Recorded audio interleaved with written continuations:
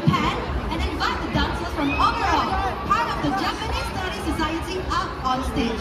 Please put your hands together for!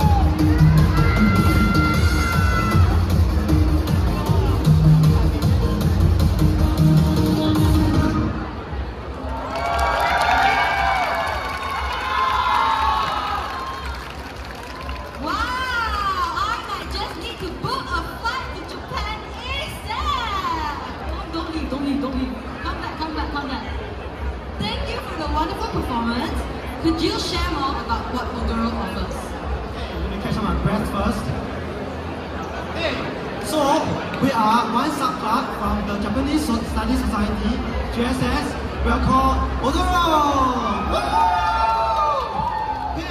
we're the club that for me performance is for trying out the Odottemita community. So, Odottemita basically means I try to dance. So, Yao Club you don't need any dance background. You can just join us. You can find us in UTown Sports Hall 2, C36.